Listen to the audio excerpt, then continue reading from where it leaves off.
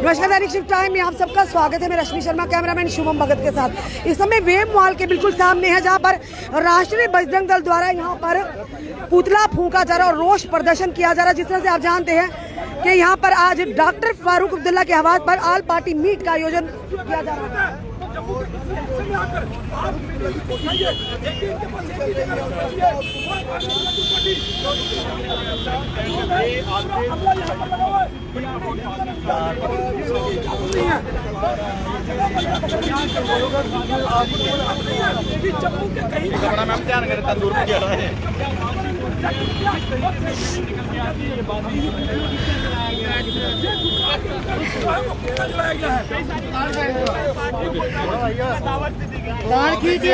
देखिए जम्मू की जो पार्टी है इसके अंदर गई है वो भी आज से हमारी नज़रों में देशद्रोही हो चुकी करते हैं। क्या कारण रहा क्यों विरोध प्रदर्शन आखिरकार लगातार आप लोग कर रहे हैं? देखिए गुप्कार गैंग वो गैंग है जिनको गद्दारों के टोले की संख्या दी गई है। ये वो गद्दार हैं जो पाकिस्तान का फेवर लेते हैं जो चाइना का फेवर लेते हैं जो अफ़गानिस्तान यानी कि तालिबान का फेवर लेते हैं। ये लोग हमेशा पाकिस्तान की हिमायत करते नज़र आए। ये उन लोगों के हिमायती रहे जो आतंकवादी हैं जो आईएसआई और पाकिस्तान के झंडे लहराने वाले आज जेल के अंदर हैं जो पत्थरबाज हैं। उनकी हिमायत करते नज़र आए हैं। ये हमेशा देश के खिलाफ जहर उगलते रहे हैं। तो इनको हम गद्दारों का टोला नहीं कहेंगे तो क्या कहेंगे? ये आज जम्मू के अंदर जहर घोलेंगे। इसलिए आज हम इनका विरोध कर रहे हैं। तो लगातार Gupkar gang Gupkar gang Gupkar gang Gupkar gang Gupkar gang meet हुई थी ऑल पार्टी मीट और आज फिर से होने जा रही है डॉक्टर फारूक अब्दुल्ला के आवाज़ पर। आपने पुतला किसका जलाया? देखिए आज हमने गुप्कार गैंग का पुतला फूका है। ये अब जो है अपने आप को अलग दिखा रहे हैं कि हमने all meet all party meet की है। लेकिन ये गुप्कार गैंग ही है। मुझे बताइए कौन बाहर गया कौन अंदर आया ये सब मालूम ही है। जब इन्होंने वहाँ पर मीटिंग की थी तब भी हमने इसका विरोध किया था और हमने चेतावनी दी थी कि अगर हिम्मत है तो जम्मू शहर के अंदर मीटिंग करके दिखाओ। देखिए, हर बार फारूकदुल्ला की कोठी के अंदर मीटिंग, क्योंकि यहाँ पर सुरक्षा के चक्कर चौंध कर दी जाती है। सारा अमला यहाँ पर लगा दिया जाता है। बटिंडी के अंदर अनजान व्यक्ति को घुसने की इजाज़त नहीं दी जाती। तो उस सुरक्षा के अंदर ये मीटिंग कर रहे हैं। देखिए, इससे ये पता चलता है कि जम्मू के लोगों ने इनको रिजेक्ट किया और जो जम्मू के लोग इनके साथ गए हैं, वो केवल बिरयानी खाने गए हैं। उनका जनाधार यहाँ कुछ नहीं है। चार लोग नहीं है उनके साथ। अरे इलेक्शन लड़के तो देखो जिन्होंने लड़ी उनको पता है उनके उनके डब्बे के अंदर कितने कितने वोट थे। और आज वो बात करते हैं। अरे ये सब गद्दार जो हैं वो आज यहाँ पर इकट्ठे हुए हैं। बिरयानी का सिलसिला तो काफ़ी पहले से चल रहा है देखिए कुछ नए भी गए हैं। कुछ नए लोग जो हैं वो आज वहाँ पर गए हैं। तो ये सामने आएगा जब मीडिया में खबर लगेगी अपने आप सामने आएगा और उनको शर्मिंदा होना पड़ेगा। देखिए उनके फाउंडर मेंबर कौन थे?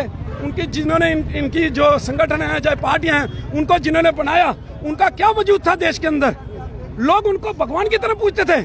आज उनकी छवि भी कहीं ना कहीं धूमल होती नज़र आ रही है जिसको हम मानते थे जिसको हम हिंदूवादी मानते थे। आज वो गुप्कार गैंग के साथ बैठेगा तो हमारे दिल को ठेस पहुंचेगी क्योंकि उनके फाउंडर मेंबर हमारे आदर्श रहे हैं। राकेश जी 25 लाख वोटर को लेकर भी एजेंडा कश्मीर में था यहाँ पर भी इनका वही एजेंडा? है देखिए वो क्लियर हो चुका है कि ऐसा कुछ एजेंडा था ही नहीं। चाहे वो रिफ्यूजी थे, चाहे गोरखा समाज के थे, या अन्य जैसे वाल्मीकि समाज, और कई लोग जो हैं, वो बाहर से यहाँ पर आकर बसे हुए थे काफ़ी कई वर्षों से, कई सौ साल से। उनको जो है, जो उनको नागरिकता देने की बात थी। तो उसके बाद जो कई सालों से यहाँ पर नौकरियाँ कर रहे हैं, चाहे वो सेंटर के हों, जो तीस तीस साल से नौकरियाँ कर रहे हैं उनको नागरिकता देने की बात थी। बाकी ऐसा कुछ नहीं था। केवल इन्होंने अब इस एजेंडे को इसका इस्तेमाल करके राजनीति करने का काम जो है इस गुप्कार गैंग ने यानी कि गद्दारों के टोले ने किया। मानते हैं कि जो आपने चैलेंज दिया था कि जम्मू में बैठक करिए कहीं ना कहीं डेलिबरेटली जो है इस बैठक को इसलिए अंजाम दिया गया कि एक एज अ चैलेंज आप देखिए हमने चैलेंज दिया था कि आप जम्मू के किसी हिस्से में करके दिखाइए। ये नहीं कर पाए। ये फारूकुल्ला की कोठी क्या एक वही है क्या वो ऑफ़िस है क्या? ये भी तो जम्मू का हिस्सा ही आता है। देखिए मैं बताऊँ फारूकुल्ला की कोठी के ऊपर कितनी ज़्यादा सुरक्षा जम्मू के किसी भी देखिए मैंने कहा कि कितनी सुरक्षा वहाँ पर होती है।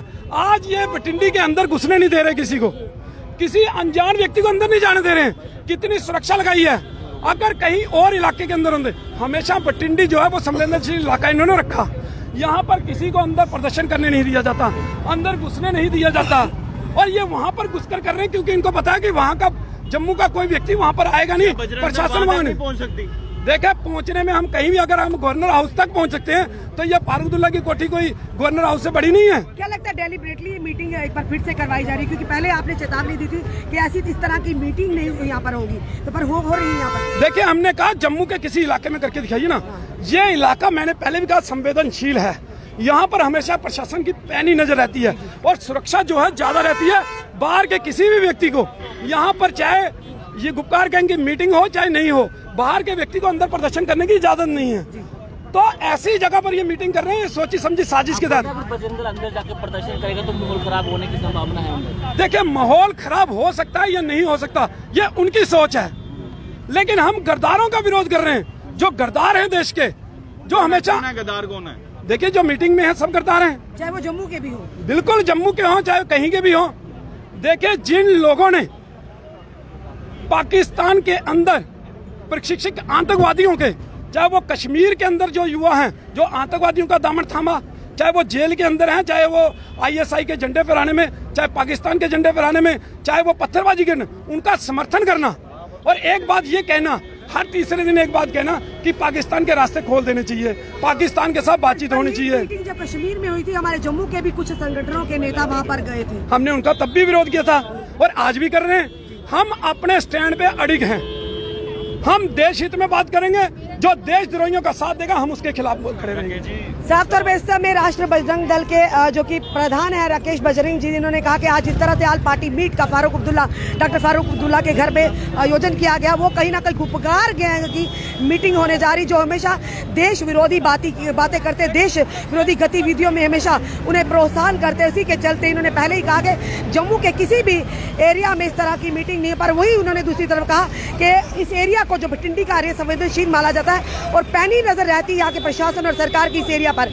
उसी के चलते डॉक्टर फारूक अब्दुल्ला के घर आज आल पार्टी मीटिंग होने जा रही है, जिसमें जम्मू के कुछ नेता भी, जिसका राकेश बजरंगी जी ने यहाँ के यानी कि विद्रोह भी किया है, उन्होंने इसके खिलाफ, इनकी खिलाफत भी और वही दूसरी तरफ़ कहा कि इस समय ये प्रदर्शन किया का मतलब कि ये जो लोग गुप्तकार गैंग जम्मू कश्मीर से जम्मू में आकर इस तरह की बातें करेगा, ये कहीं कहीं आग फैलाने का काम करते हैं, नफरतें फैलाने का काम करते हैं, इन्होंने चेतावनी दी थी इस तरह की मीटिंग यहाँ नहीं पर फ़िलहाल यहाँ पर पूरी तरह से आप देखिए, चौकसी बरती जा रही है पुलिस।